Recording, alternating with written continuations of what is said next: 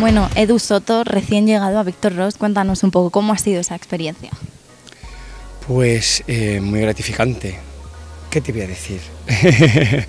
no, muy bien, muy bien. Eh, tenía muchas ganas de estar en una ficción y de tener ahí una intervención prolongada en la serie y, es la primera oportunidad de hacer algo así y pues, pues muy feliz.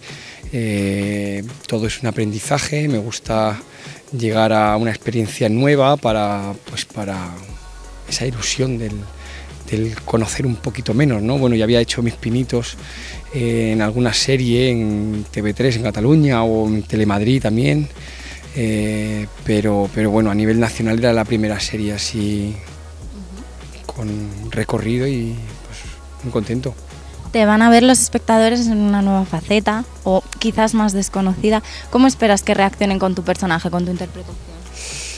Em, pues yo no me he visto.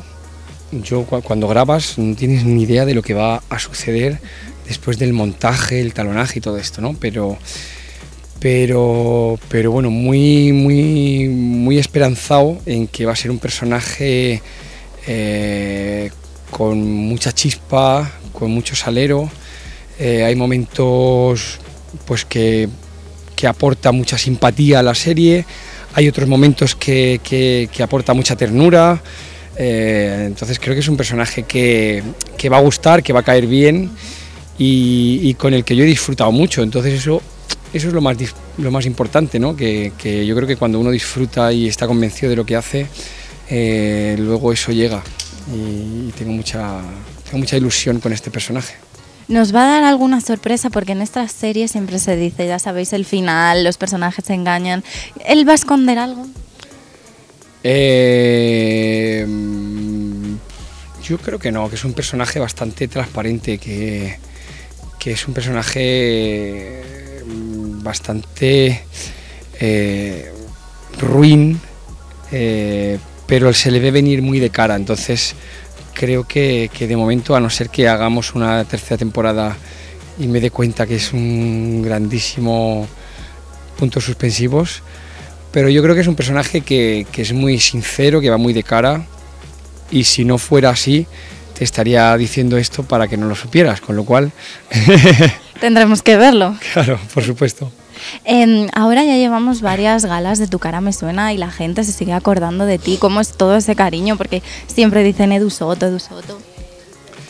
Em, pues, eh, pues te voy a responder con algo que te acabo de decir, que yo estuve en Tu cara me suena con muchísima ilusión con muchísimas ganas de cantar, de, con muchísimas ganas de imitar a esos grandes cantantes de nuestro país y del extranjero, vivos, muertos. Tenía unas ganas tremendas y creo que la gente pues eso lo ve, lo recibe y llega algo que traspasa la pantalla, algo mágico y, bueno pues si la gente me echa de menos una décima parte de lo que yo he hecho de menos esa experiencia, pues, pues, pues muy agradecido. La verdad es que te llega ¿no? mucha gente que te dice, joder, es que te echo de menos en, la, en el programa y tal.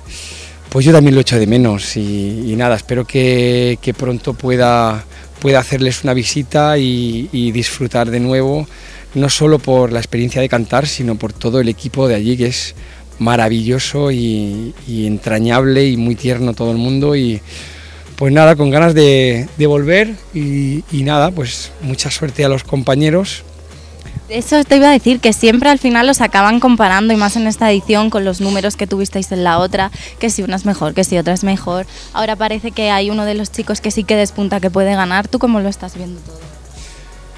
Eh, pues yo creo que, que, que lógicamente el niño que uno tiene en su casa es el más bonito del mundo, el más listo y el que anda antes que ninguno y el que habla mejor que ninguno.